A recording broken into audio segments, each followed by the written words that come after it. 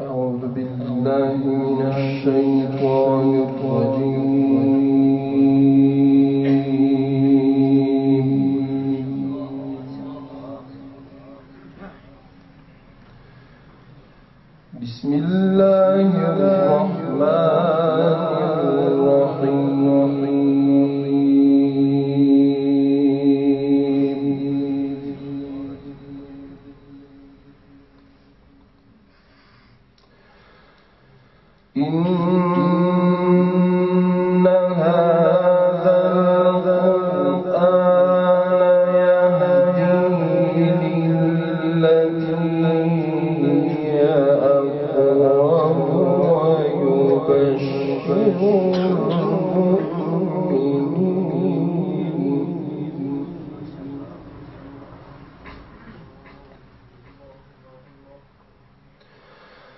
ويبشر المؤمنين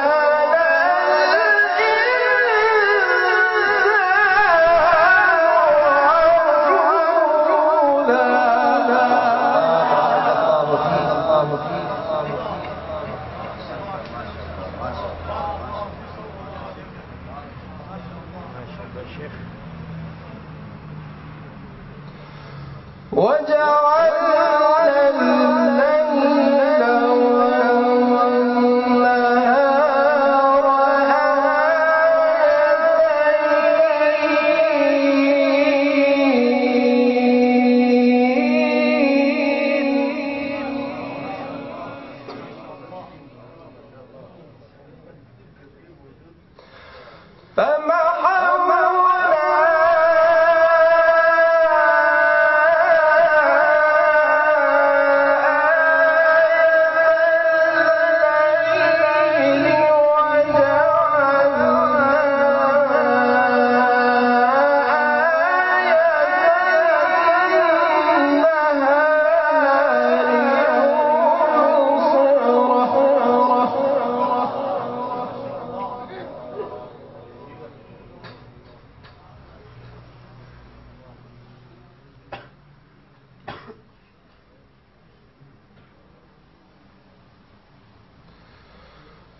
One.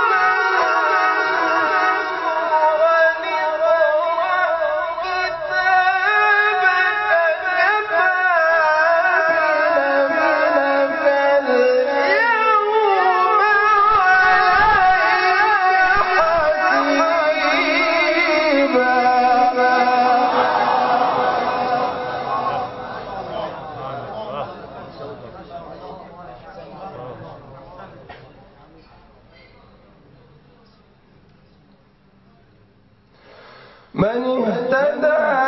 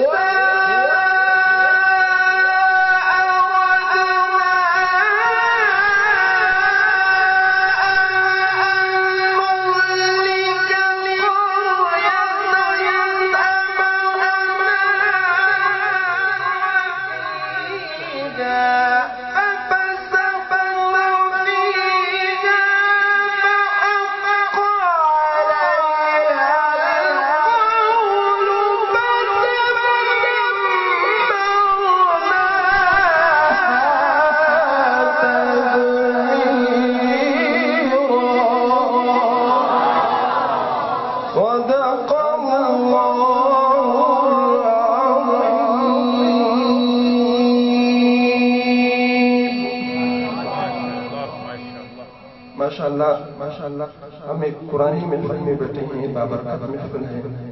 دنیا میں بہت سارے محفلیں ہوتی ہیں۔ ظاہر ہے، ان سب سے بڑھ کر کے جو مقام اور رتبہ ہے، وہ اس محفل کا ہے۔ اس سے بڑھ کر دنیا میں کوئی پروگرام نہیں ہے، کوئی محفل نہیں ہے، کوئی ایسا ماحول نہیں ہے۔ کیونکہ اللہ کا کلام سب سے بڑا ہے اور وہ پروگرام بھی سب سے بڑا ہے جہاں پر اللہ کا کلام سنایا جاتا ہے۔ تو چونکہ اسٹیج کی طرف سے مجھے یہی حکم دیا گیا ہے کہ میں مہمانوں کا تعارف کروا دوں۔ چونکہ ہمارے امیر امیر الحفلات شیخ رشید صاحب کے گھر میں کچھ بیماری کی وجہ سے وہ تشریف لے گئے تو الحمدللہ آپ کے پاس جو قرآن تشریف لائے ہیں، وہ آج کل کی دنیا کے عظیم قرآن ہے آپ کی خوش قسمتی ہے۔ قرآن جو بھی قرآن پڑھتا ہے، وہ عظیم ہی ہوتا ہے۔ لیکن اس میں فرق یہ ہے کہ بعض لوگوں کو اللہ تعالیٰ نے اپنی طرف سے اسے نوازا ہو۔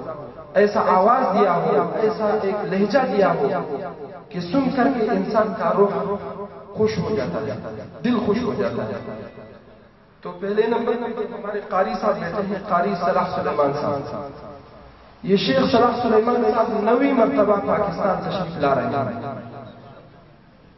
اور نویں مرتبہ کیوں تشریف لا رہے ہیں؟ حالانکہ مصر میں بہت سارے قرآ ہیں۔ اور اکثر اوقات ہمارا تجربہ بھی یہی ہے، ہم جب بھی کاری کو لاتے ہیں، ایک سال تو دوسرے سال ہمارا یہی پاش ہوتا ہے کہ دوسرا نیا کاری لے آئیں گے لیکن میں الحمدللہ ابھی قرآن پڑھا، میں حلفن بولتا ہوں کہ کئی بار ہم نے ارادہ کیا ہے کہ اس سال ہم کوئی اور کاری ڈھونڈ لیں گے، کاری شیخ صلاح سلیمان کی جگہ پہ لائیں گے پاکستان۔ لیکن بخدا سن سن کر کے مصر کے جتنی بھی جوان طبقہ ہے، اس میں سن سن کر کے ہم تک گئے ہیں، لیکن ہمیں صلاح سلیمان جیسا کاری ابھی تک نہیں ملا۔ یہ جو نویں مرتبہ، یہ ایک تاریخ ہے۔ شیخ سید عبد شیخ سید متولی پاکستان سات بار سات بار تشریف لائے تھے کیونکہ وہ عظیم تاریخ تھے۔ تو وہ بھی ایک تاریخ تھا، لیکن یہ ایک تاریخ جو اس سے تشریف لا رہا ہے، نویں مرتبہ پاکستان تشریف لا رہا ہے۔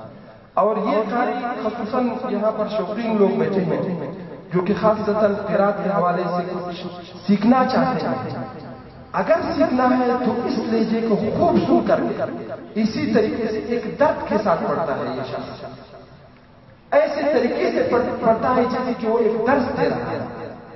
اور جو علماء حضرات بیٹھے ہیں، جو معانی کو سمجھتے ہیں، وہ خود بخود یہی سمجھیں گے کہ معانی لیول سے وہ اپنے آوازوں کا اتار چڑھاؤ کرتے ہیں۔ بالکل یوں سمجھاتا ہے جیسے وہ اپنے آواز سے تفصیل کروا رہا ہے قرآن کا تو اللہ تعالیٰ نے ایک ملکہ دیا ہوا ہے۔ دوسرے نمبر پہ جو ہمارے قاری صاحب بیٹھے ہیں، شیخ احمد الجوہری۔ ماشاء اللہ بہت ہی اچھے پڑھنے والے قاری محتری آواز جس کو کہا جاتا ہے اللہ تعالیٰ نے اس کو ایک قوت دیا۔ ہے بڑے سانس کے ساتھ سن بڑے سانس کے ساتھ پڑھنا میں کمال زیادہ نہیں سمجھتا ہوں۔ البتہ یہ ہے کہ ہمارے پاکستان، ہمارے ایشیا کے مطابق بڑے سانس کے ساتھ پڑھنا وہ خوش کرتے، وہ مطلب پسند کرتے ہیں۔ تو اس لیے قاری احمد الجوہری صاحب ماشاء اللہ شیخ محمود الخش کا تقلید بھی کرتے ہیں۔ ماشاء اللہ بہت سارے خورا کا تقلید کرتے ہیں۔ بہت اچھے پڑھنے والے ہیں۔ قاری احمد الجوہری۔ اور تیسرے نمبر پر جو ہمارے قاری صاحب تشریف فرما ہے، قاری عید شعبان۔ میں تو کہتا ہوں کہ آج کل آج کل خالص پاکستان میں نہیں، دنیا کے ہر کونے میں جا کر کے کسی سے بھی پوچھو کہ عید شعبان کون ہے؟ وہ جانتا ہے کہ وہ قاری ہے اور عظیم قاری ہے آج کل کی دنیا کا۔ اللہ تعالیٰ نے ایک قوت دیا ہے آواز میں۔ پہلے ہم نسل کی قرآن کو سنتے تھے، جو کہ اللہ ان کو، اللہ نے ان کو آوازیں بھی دی تھی اور سانس بھی دیا تھا۔ لیکن اس نے ایک ریکارڈ قائم کیا ہے، جو کہ ابھی تک اس کا ریکارڈ کسی نے نہیں توڑا۔ ایک سال میں یہ ایک خیر معروف اللہ تعالیٰ کا کرنا تھا کہ مجھے ایک گروپ میں، مکہ مکرمہ میں، ہمارے ایک ایڈمن گروپ میں میں بھی شامل شامل تو اچانک میں نے مجھے ایک کلپ آیا۔ میں نے جب سنا مجھے حیران کر دیا۔ میں نے عالم فور اس ایڈمن کے ساتھ رابطہ کیا؟ میں نے کہا، یار، یہ جو کلپ ہے، یہ نمبر مجھے دے دے۔ وہ نمبر بھی تو آتا ہے۔ میں نے کہا، اگر آپ کا پہچان ہے تو اس کا میرے ساتھ تعارف کروا دے تو اس کے ساتھ جب میں نے بات کی، غریب ملک سے تشریف لائی اگر میں یہ کہوں، اللہ کا دین، اس کے گھر میں اب تک دروازے بھی نہیں ہیں۔ اب اگر لگائیں گے مجھے پتا نہیں۔ لیکن جب تک میں اس کے ساتھ بات کر رہا تھا اسکائپی پر یا لائیو بات کرتا تھا، تو اس کے گھر میں دروازے نہیں اور ایسے علاقے میں یہ شخص ماشاء اللہ اتنا عظیم قاری بنا ہے کہ وہاں پر ارد گرد کی تقریباً ساری آبادی عیسائیوں کی اور ایک سال میں اللہ تعالیٰ نے وہ شہرت کیا کہ ابھی کچھ عرصہ پہلے بنگلہ دیش کے پچیس دن بنگلہ دیش میں انڈیا سے کو وہ آیا ہے دعوت۔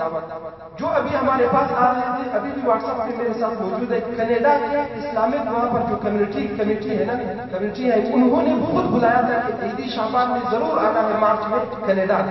لیکن یہ ماشاء اللہ دوستی کا بڑا پابند ہے۔ انہوں نے کہا، پاکستان والے میرے دوست ہیں، میں وہاں پہ جاتا ہوں۔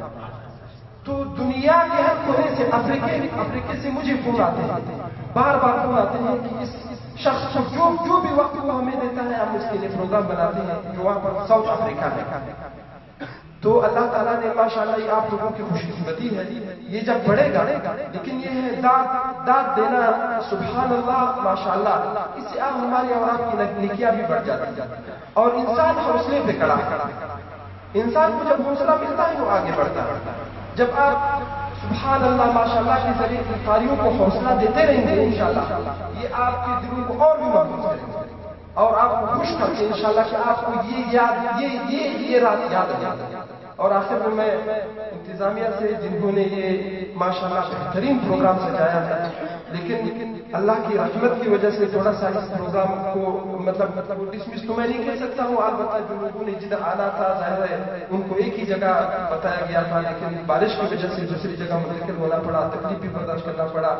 بہترین پروگرام سجایا ہے۔ میں ان کا شکر گزار ہوں۔ نعمان بھائی، جو ہمارے بھائی ہیں، اس کا یہ نام نہیں آتے ہیں۔